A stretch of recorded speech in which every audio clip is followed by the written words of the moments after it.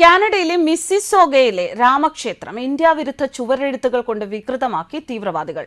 U S ആസ്ഥാനമായുള്ള നിരോധിത ഭീകര സംഘടനയായ സിഖ് ഫോർ ജസ്റ്റിസ് സംഭവത്തിന്റെ ഉത്തരവാദിത്തം ഏറ്റെടുത്തിട്ടുണ്ട്. ക്ഷേത്രം വികൃതമാക്കിയതിനെതിരെ മേഖലയിലുള്ള ഹിന്ദു സമൂഹം വലിയ പ്രതിഷേധമാണ് ഉയർത്തുന്നത്. ക്ഷേത്രം വികൃതമാക്കിയതിനെ ശക്തമായി അപലപിക്കുന്നു എന്നും കുറ്റക്കാർക്കെതിരെ കർശന നടപടി സ്വീകരിക്കണമെന്നും ടൊറന്റോയിലെ ഇന്ത്യൻ കോൺസുലേറ്റ് ജനറൽ ആവശ്യപ്പെട്ടു. മിസിസാഗയിലെ രാമക്ഷേത്രം ഇന്ത്യ വിരുദ്ധ ചുവരെഴുത്തുകൾ കൊണ്ട് ഇത്തരത്തിൽ വികൃതമാക്കിയതിനെ വളരെ ശക്തമായി അപലപിക്കുകയാണ്.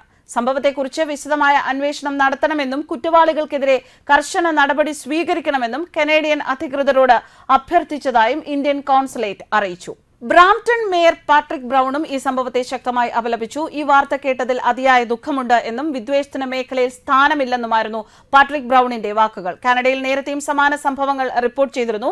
ജനുവരിയിൽ ബ്രാംപ്ടണിലുള്ള ഗൌരിശങ്കർ മന്ദിർ ഇന്ത്യ വിരുദ്ധ ചുവരെഴുത്തുകൾ ഉപയോഗിച്ച് വികൃതമാക്കിയിരുന്നു. കഴിഞ്ഞ സെപ്റ്റംബറിൽ കാനഡയിലെ B A P S Swaminarayan മന്ദിരും Khalistani തീവ്രവാദികൾ വിദ്വേഷ ചുവരെഴുത്തുകൾ കൊണ്ട് ഇത്തരത്തിൽ നശിപ്പിച്ചിരുന്നു.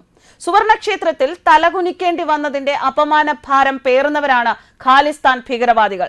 അടിച്ചമർത്തിയിട്ട് പതിറ്റാണ്ടുകൾ കഴിഞ്ഞിട്ടും പൂർവാധികം ശക്തിയോടെ വീണ്ടും ഉയർത്തെഴുന്നേൽക്കാൻ കിണഞ്ഞു പരിശ്രമിച്ചു കൊണ്ടിരിക്കുന്നവർ ഖാലിസ്ഥാനിയുടെ പത്തി നോക്കി ഇന്ദിരാഗാന്ധി അടിച്ചിട്ടും ആ വിഷം അവർ അടുത്ത തലമുറയിലേക്കും പകർന്നു.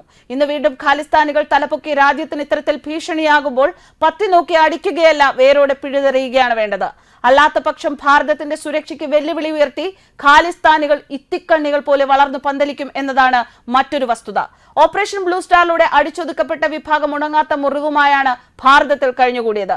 രാജ്യത്തിന് പുറത്തുള്ള ശക്തികളെയല്ല അകത്തുള്ള രാജ്യദ്രോഹികളെയും മുളയിലേ നുള്ളണം. രാജ്യം കണ്ട ഏറ്റവും വലിയ സൈനിക നീക്കത്തിലൂടെ ഖാലിസ്ഥാനികളെ കൊന്നുതള്ളിയെങ്കിലും ഭാരതത്തിന് നഷ്ടമായത് കരുത്തുറ്റ ഒരു ഭരണാധികാരിയായിരുന്നു.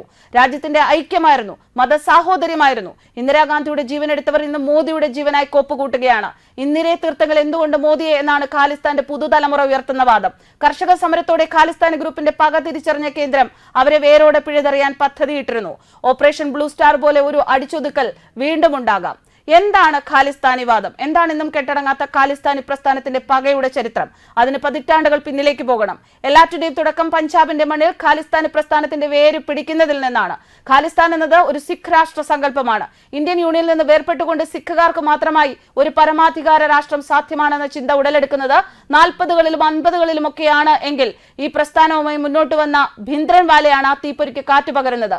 പഞ്ചാബിൽ ശക്തി ആർജിച്ചുകൊണ്ടിരുന്ന അകാലിദളിനെതിരെ നിൽക്കാൻ വേണ്ടി കോൺഗ്രസ് തന്നെ വളർത്തിക്കൊണ്ടുവന്ന ഭിന്ദ്രൻവാല ഒടുവിൽ കേന്ദ്രത്തെ വിമർശിച്ചു. വിഘടനവാദപരമായ പ്രസംഗങ്ങൾ നടത്താൻ തുടങ്ങി. ആയിരത്തി തൊള്ളായിരത്തി എൺപത്തിരണ്ടിൽ തന്റെ ആസ്ഥാനമായ ചക് ഗുരുദ്വാരയിൽ നിന്ന് ആദ്യം സുവർണ ക്ഷേത്രത്തിന് തൊട്ടടുത്തുള്ള ഗുരുനാനാക് നിവാസിലേക്കും പിന്നീട് അതിനുള്ളിലെ അകാൽ തക്കിലേക്കും തന്റെ ആസ്ഥാനം മാറ്റി. ഒരർത്ഥത്തിൽ അവിടേക്ക് ബലം പ്രയോഗിച്ച് കടന്നു കയറിയത് കേന്ദ്രത്തെ ചൊടിപ്പിച്ചിരുന്നു. അതിർത്തിക്കപ്പുറത്തു നിന്നുള്ള ഐ എസ് ഐ സഹായത്തോടെ ഇന്ത്യക്കെതിരെ പ്രവർത്തിച്ച് ആകെ ശല്യക്കാരനായി മാറിയുന്ന ഭിദ്രൻവാലയുടെ രാഷ്ട്രീയ ഉന്മൂലനം തന്നെയായിരുന്നു അന്ന് സൈനിക ഇടപെടലിന്റെ പ്രഥമ ലക്ഷ്യം. എന്തായാലും ലോകത്തിന്റെ പല ഭാഗത്തിരുന്ന് ഇപ്പോഴും ഇവർ ഇന്ത്യ വിരുദ്ധത തെളിയിച്ചുകൊണ്ടിരിക്കുകയാണ്. News desk കർമാനൂസ്.